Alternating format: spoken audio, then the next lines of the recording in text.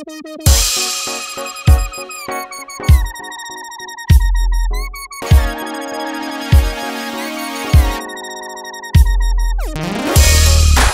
friends welcome to Neelavathi kitchen இன்னைக்கு நம்ம கிச்சன்ல சூப்பரான ஒரு ரெசிபி பார்க்க போறோம்.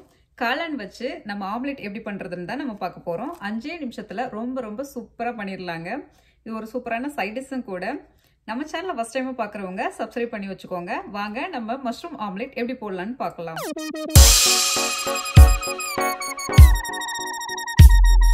இன்னைக்கு நம்ம காளானில் ஆம்லெட் போடுறதுக்காக ஆறு காளான் எடுத்து வச்சுருக்கேன். இது கிட்டத்தட்ட நூறு கிராம் இருக்கும். எல்லா மஷ்ரூமையும் நம்ம குட்டி குட்டியாக இந்த மாதிரி கட் பண்ணி எடுத்துக்கலாம். மஷ்ரூம் ஆம்லெட் ரொம்ப ரொம்ப ஈஸியும் கூட ரொம்ப ரொம்ப ஹெல்த்தியும் கூட ஹெல்த் மெயின்டைன் பண்ணணும்னு நினைக்கிறவங்க இந்த ரெசிபியை அடிக்கடி உங்கள் சாப்பாட்டில் சேர்த்துக்கோங்க. ரொம்ப ரொம்ப ஈஸி அஞ்சே நிமிஷத்தில் இந்த வேலை முடிஞ்சிடும் நீங்கள் ஒரு தடவை செஞ்சீங்கன்னா அடிக்கடி இந்த ஆம்லேட் பண்ணிகிட்டே இருப்பீங்க. இப்போ நம்ம எல்லா மஷ்ரூமையும் கட் பண்ணிட்டோம். அதில் ஒரு கால் டீஸ்பூன் சால்ட்டை சேர்த்து நல்லா மிக்ஸ் பண்ணி விட்டுறலாம். இது கூட ஒரு கால் டீஸ்பூன் அளவில் பெப்பர் சேர்த்து மறுபடியும் நல்லா ஒரு தடவை மிக்ஸ் பண்ணி விட்டுக்கோங்க.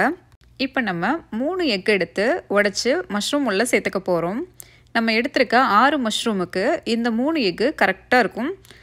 குழந்தைங்களுமே இந்த டிஷ்ஷை ரொம்ப விரும்பி சாப்பிட்றாங்க.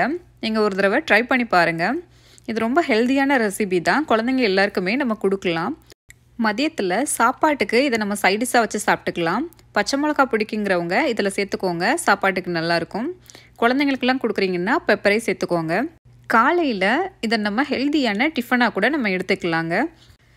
எக்கு எல்லாத்தையும் உடச்சி சேர்த்ததுக்கு அப்புறமா நல்லா அந்த சால்ட்டெல்லாம் கரைகிற மாதிரி மிக்ஸ் பண்ணி விட்டுக்கோங்க. இப்போ நம்ம ஆம்லேட் போட்டுடலாம் ஆம்லேட் போடுறதுக்கு ஒரு பேன் எடுத்து நல்லா சூடு பண்ணிக்கோங்க. அதில் ரெண்டு ஸ்பூனு ஆயில் சேர்த்து நல்லா எல்லா பக்கமும் படுறது மாதிரி தேய்ச்சி விட்டுக்கோங்க. பேன் நல்லா சூடானதுக்கு அப்புறமா நம்ம கலந்து வச்சுருக்க மஷ்ரூமை இது உள்ளே சேர்த்துடலாம் தோசைக்கல்லில் கூட இதை நம்ம ஊற்றி எடுத்துக்கலாம். நம்ம கம்ஃபர்ட்டுக்கு எந்த பேன் நல்லா செட் ஆகும்னு நினைக்கிறீங்களோ அந்த பேன்லேயே நீங்கள் போட்டு எடுத்துக்கலாம்.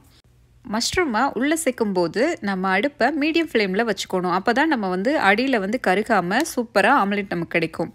ஒரு ரெண்டு நிமிஷத்துக்கு இதை டிஸ்டர்ப் பண்ண வேணாம். அப்படியே வெந்துட்டுருக்கட்டும் இந்த ஆம்லெட் மேலே நம்ம கொஞ்சமாக மல்லித்தலை சேர்த்துக்கலாம். இது ஆப்ஷனல் தான். இது தேவையில்ல. வேணுங்கிறவங்க சேர்த்துக்கோங்க. மஷ்ரூமில் ஆம்லெட் போடும்போது மஷ்ரூம் வெந்துருமா அப்படின்னு நீங்கள் நினைக்காதீங்க. கண்டிப்பாக வெந்துடும் ரொம்பவே சூப்பராக இருக்கும். நீங்கள் ஒரு தடவை செஞ்சு பார்த்தீங்கன்னா நீங்கள் உங்களுக்கு அடிக்கடி செஞ்சுப்பீங்க. மஷ்ரூம் சேர்த்து ஒரு ரெண்டு நிமிஷத்துக்கு அப்புறமா நம்ம கரண்டியை வச்சு செக் பண்ணி பார்த்தோன்னா கீழே வந்து ஒரு லைட் ப்ரௌனிஸாக வந்திருக்கும். அதுக்கப்புறமா நம்ம இதை திருப்பி விட்டுறலாம் அப்போ கீழே நல்லா வெந்துருச்சு அப்படின்னு அர்த்தம். இதை நம்ம திருப்பி போட்டுக்கலாம். இதை நீங்கள் மூடி போட்டு கூட வேக வச்சுக்கலாம். மூடி போடாமலும் வேக வைக்கலாம். ஒன்றும் பிரச்சனை இல்லை. இப்போ நம்ம திருப்பி போடும்போது மேலே வந்து லைட்டாக தண்ணியாக நிற்கும் ஏன்னா மஷ்ரூம் தண்ணி விடும் இல்லையா?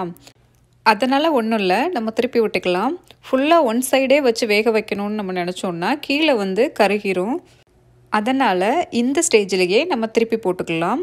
இதுக்கு வந்து ஒரு கனமான கரண்டி எடுத்துக்கோங்க. ஒரு தோசை கரண்டி எடுத்துக்கோங்க. இல்லைன்னா இந்த மாதிரி கரண்டி யூஸ் பண்ணிக்கோங்க. அப்போ தான் நம்ம உள்ளே கொடுத்து தூக்குறதுக்கு வந்து கரெக்டாக இருக்கும். இதை அப்படியே தூக்கி திருப்பி போட்டுருங்க. சென்டரில் கொண்டு போயிட்டு அப்படியே திருப்பி போட்டுருங்க. அதே போல் இந்த பக்கமும் ஒரு ரெண்டு நிமிஷத்துக்கு நல்லா வேகட்டும். மஷ்ரூம் வந்து ரெண்டு நிமிஷத்துலேயே நல்லா வெந்துடும் நீங்கள் இந்த பேனை ஆட்டி பார்த்தீங்கன்னாவே அது ஒட்டாமல் வரும். அதுக்கப்புறமா நம்ம கரண்டியை வச்சு செக் பண்ணி பார்த்துக்கோங்க.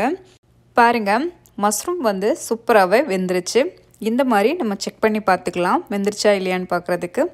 இப்போ நமக்கு மஷ்ரூம் வந்து ரெண்டு பக்கமுமே நல்லா வெந்துருச்சு. பாருங்கள் இந்த சைடும் சூப்பராக வெந்துருச்சு அந்த சைடும் நல்லா வெந்துருச்சு. பார்க்கவே ரொம்பவே சூப்பராக இருக்குது இப்போ நம்ம ஒரு பிளேட்டுக்கு இதை மாற்றிடலாம் இப்போ பாருங்கள் இந்த மாதிரி பேனை ரெண்டு தடவை ஆட்டிட்டு அதை அப்படியே நீங்கள் சைடில் சாய்ச்சிங்கன்னா அப்படியே நமக்கு பிளேட்டில் விழுந்துடும் இதை நம்ம கரண்டி வச்சு தூக்கி எடுத்து போடணும்னு அவசியம் இல்லை. இந்த மாதிரியே நீங்கள் தோசை தவாவில் பண்ணாலும் இது மாதிரியே பண்ணிக்கோங்க. ரொம்பவே ஈஸியாக இருக்கும். மஷ்ரூம் ஆம்லேட் போடும்போது மேக்ஸிமம் நம்மளுக்கு ஆம்லேட் உடையவே உடையாதுங்க. ரொம்பவே சூப்பராக நம்மளுக்கு கிடைக்கும். பாருங்கள் நம்மளுக்கு ஆம்லேட் பக்காவாக ரெடி ஆயிடுச்சு. இது ஒரு பக்கம் இப்படி இருக்குது அடுத்த பக்கத்தை பாருங்கள் பாருங்கள் ரொம்ப ரொம்ப சூப்பராக ரெடி ஆகிருக்கு அவ்வளோதாங்க நம்ம சூப்பராக சிம்பிளாக பக்காவாக மஷ்ரூம் ஆம்லேட் ரெடி பண்ணிட்டோம். இந்த வீடியோ உங்களுக்கு பிடிச்சிருந்தா லைக் பண்ணுங்க ஷேர் பண்ணுங்க கமெண்ட் பண்ணுங்க. நீலாவதி கிச்சனை சப்ஸ்கிரைப் பண்ணுங்க. பெல் ஐக்கானே கிளிக் பண்ணி வச்சுக்கோங்க. அப்பதான் நான் வீடியோ போட்ட உடனே ஃபர்ஸ்ட் ஃபர்ஸ்ட் நீங்க பார்க்கலாம். எந்த வீடியோவையும் மிஸ் பண்ணாமையும் பார்க்கலாம். பொறுமையா வீடியோ பார்த்த எல்லாருக்கும் ரொம்ப ரொம்ப நன்றிங்க.